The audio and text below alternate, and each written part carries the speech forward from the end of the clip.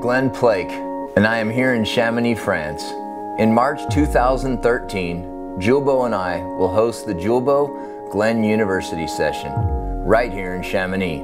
We are looking for the next generation of ski mountaineers to join the U.S. Julbo ski team and give them a chance to be influenced by the traditions of Chamonix.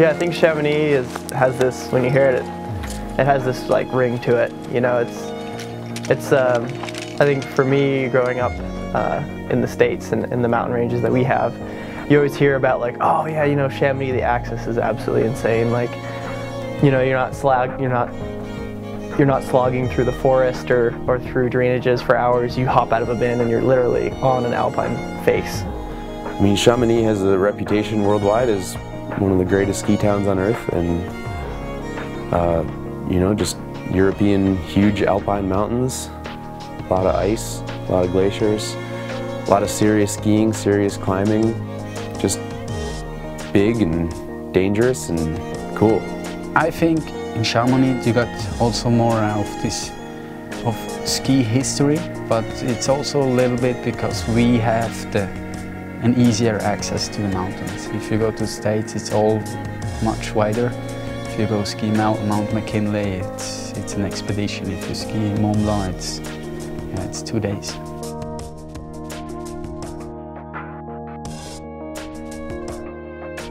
Those guys got to realize that we need to maybe clear the air, that uh, that there's a kind of this fantasy world that's all cool and magazines and heli shoots and all this other stuff and then there's the actual real world and that's climbing and skiing mountains and, and that's going on all the time everywhere and has been for hundreds of years.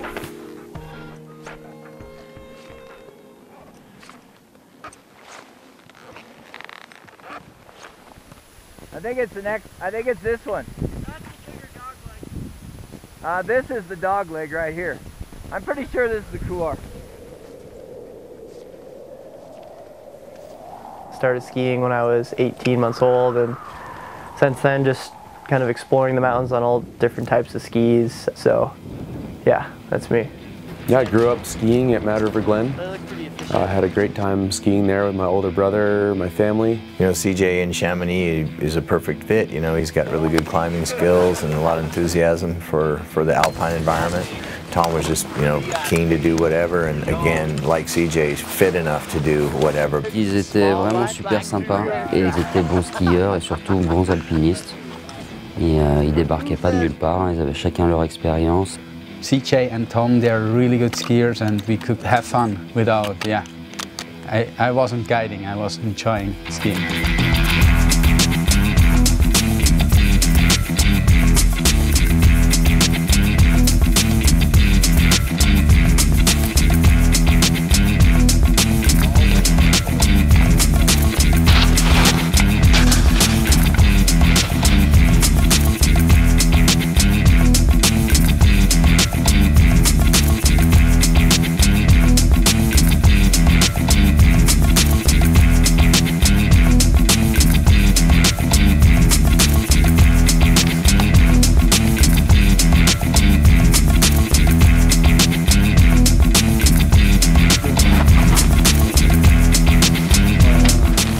Being in Chamonix has been amazing. Uh, as a skier, it's, it's someplace I always wanted to come. I knew that I'd be here someday. I didn't know what the circumstances would be, and I certainly never thought that it would be to, I would be here to ski with Glen Plake. Skiing in Chamonix with Glen Plake is a, kind of a surreal experience. He has so much knowledge of the area, of the mountains in general. Is super, super psyched to point out every single little line, whether it's an alpine climb or a ski route that was last skied in 1976 by Patrick Vallençant. He has something to say about every peak you can see. He has a story about it, and it's really neat to, to experience that and, and have him as a guide.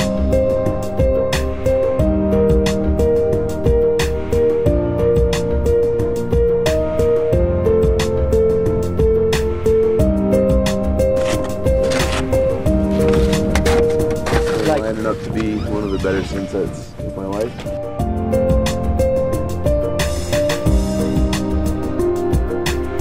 What's that thing? That looks almost skiable. My friends went to do that last year. Yeah.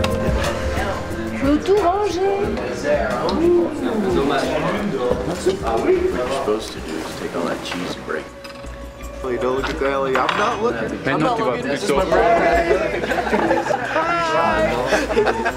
completely ruined the ambiance. We are on the north too. We go along here. Et There's a nearly to the go col on the Vitacule they call it, so and then we just climb, which is really nice. Facing east, and you have the Grandes Jorasses just here. Yeah, it's beautiful. Uh, I'm sure the snow is good, and uh,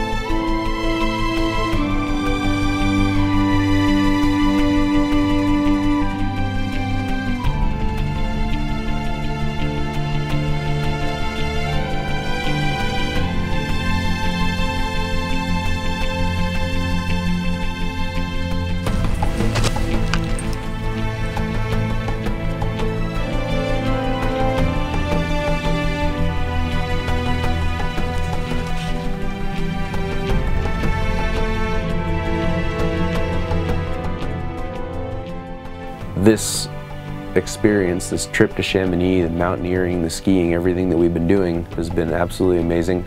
No, I think Chamonix just opened my eyes uh, as far as you know what what you can do in the mountains. I think it's been a real eye opener, and um, being with Glen is unreal. It's been a really neat ex- experience to see, you know, how excited he is in the mountains still after all these years.